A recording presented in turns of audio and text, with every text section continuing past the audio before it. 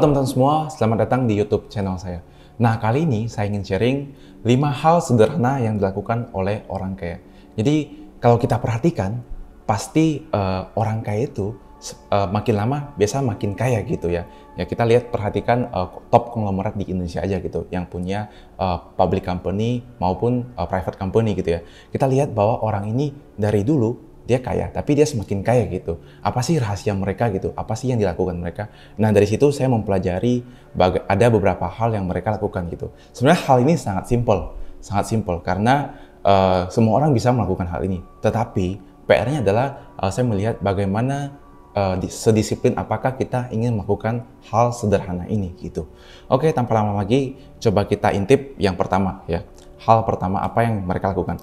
Jadi yang ketika saya ketemu uh, hal yang pertama ini adalah budgeting ya. Budgeting ini adalah ya ketika orang yang punya pendapatan orang yang punya income gitu ya tiap bulan kan bisa dapat gaji atau yang punya bisnis dapat uh, penghasilan gitu.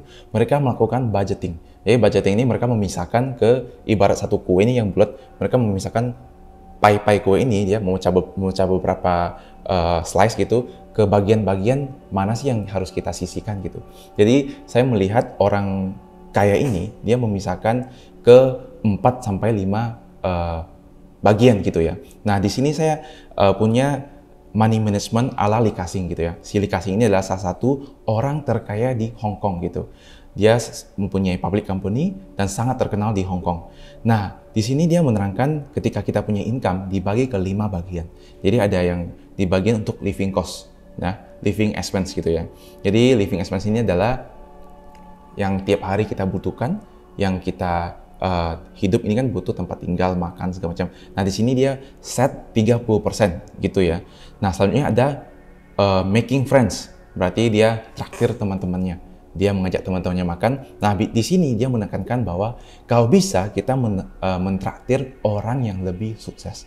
Kenapa? Karena kata dia bahwa banyak keajaiban yang terjadi di atas meja makan. Jadi ketika kita traktir orang yang lebih sukses di atas meja makan, biasa banyak insight-insight baru gitu. Bisa saja malah jadi ada bisnis baru yang bisa terjadi, ada uh, investment baru yang bisa terjadi gitu ya. Makanya itu sangat ditekankan oleh si Lee Ka-shing. Nah, 20% untuk making friends. Nah, selanjutnya adalah 15% untuk uh, education atau belajar gitu ya. Nah, education ini bisa kita uh, beli buku ya, uh, di channel uh, di, di video sebelumnya saya ada sharing bahwa uh, rekomendasi buku untuk investasi. Nah mungkin teman-teman yang belajar investasi, teman-teman boleh uh, beli buku yang saya rekomendasikan itu karena menurut saya itu sangat bagus, ya sangat uh, relevan gitu ya. Nah itu bisa teman-teman pakai juga untuk ikut seminar gitu. Nah saya juga pertama-tama ketika saya uh, punya uang, saya juga sisihkan untuk belajar gitu. Karena saya merasa bahwa uh, ketika saya belajar, saya wah ternyata banyak hal yang belum saya banyak tahu gitu. Jadi banyak hal yang belum saya tahu, saya pengen lebih belajar lebih uh, banyak lagi gitu. Karena ketika belajar kita juga merasa wah makin lebih tahu, lebih pintar gitu. Maksudnya ya bukan sok pintar gitu ya, tapi kita merasa lebih wah ternyata luar biasa ketika kita punya uh, knowledge gitu ya, yang yang lebih banyak ketika bisa memutuskan uh, desi kita bisa membuat decision yang lebih baik gitu. Nah, itu 15% education. Selanjutnya adalah overseas atau holiday, overseas holiday gitu ya. Ini dia targetkan 10%. Jadi buat teman-teman yang udah kerja dari uh, eh, 9 to 5 gitu ya, setiap bulan gitu dapat income, mungkin boleh disisihkan agar siapa tahu di akhir tahun kita libur ya, bisa kita pakai untuk liburan gitu. Mau ke Bali gitu ya, mau have fun sama teman-temannya, mau ke puncak oh ya, di Jakarta gitu. Nah, ini sangat uh, boleh gitu karena kita memang butuh enjoy juga dari hasil kerjaan kita gitu.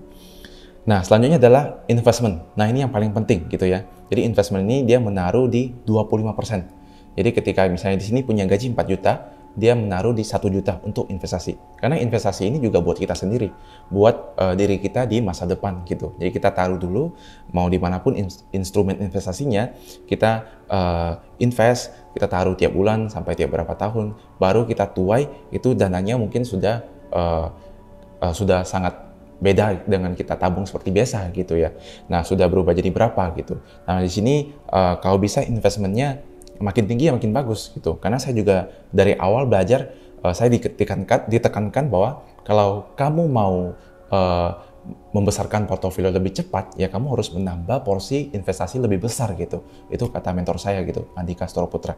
Nah, kali itu saya pernah menambah posisi investment ini sampai 70% gitu. Karena saya juga ingin cepat uh, lebih be cepat besar gitu dan, dan timingnya juga bagus waktu itu. Makanya saya sangat antusias gitu. Nah, itu adalah pertama yang budgeting.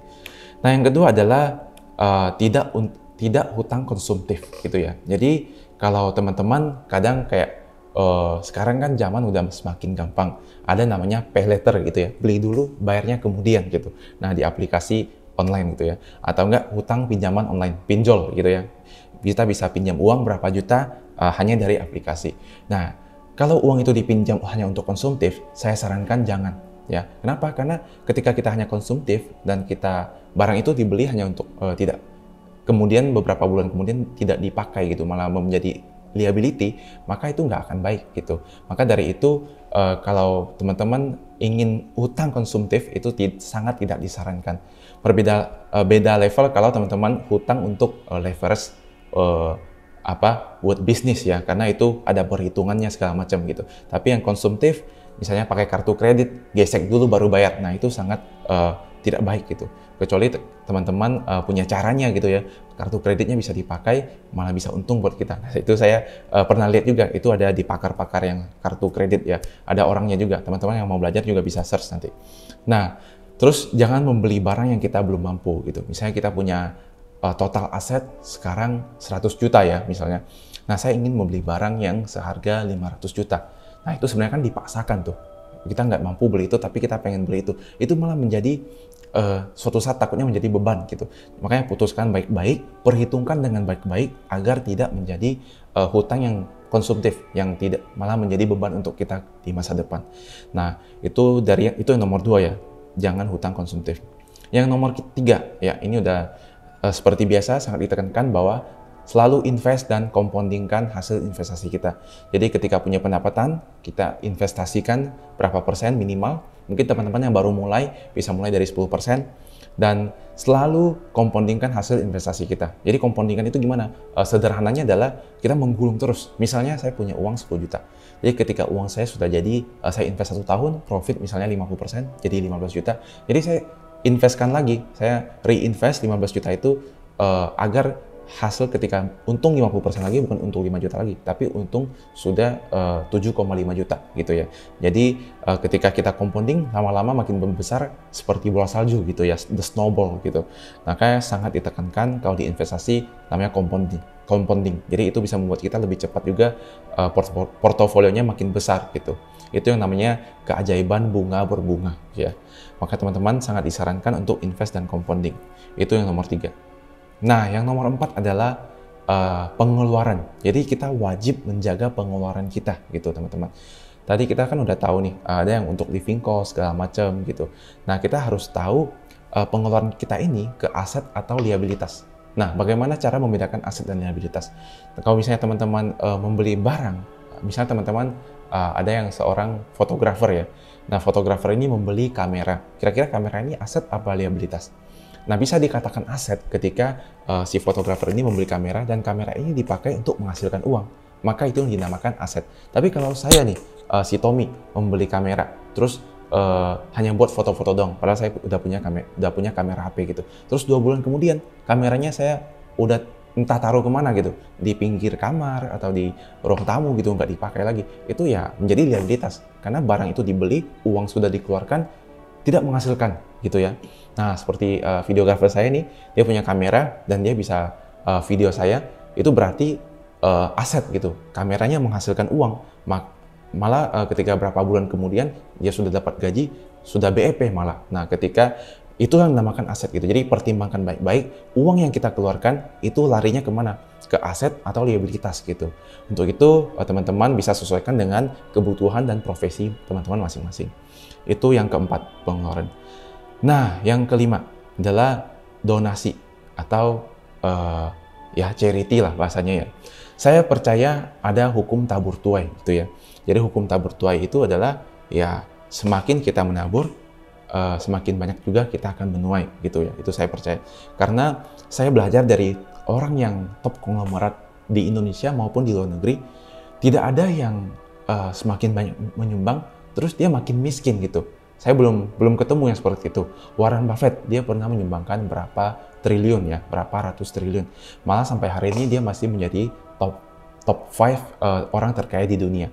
Di Indonesia masih banyak yang seperti itu. Contohnya uh, Sri Tahir gitu ya. Dato Sri Tahir ini pernah menyumbangkan berapa triliun gitu di di Melinda Gates Foundation. Tapi sampai hari ini dia masih menjadi top 10 terkaya di uh, Indonesia gitu.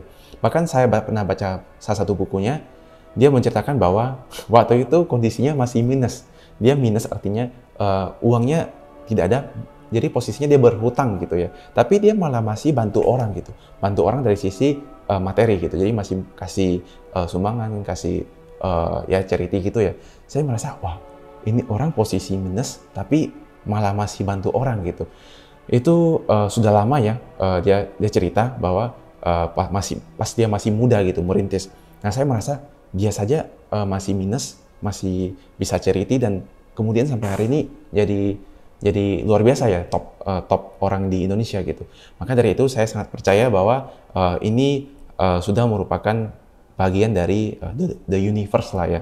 Uh, hukum alam semesta gitu dan dan teman-teman boleh praktekkan juga uh, bagaimana cara kerjanya gitu ketika sudah melakukan hal ini. Oke, okay, uh, inilah lima hal yang uh, dilakukan lima hal sederhana yang dilakukan oleh orang kaya gitu. Kenapa yang kaya semakin kaya?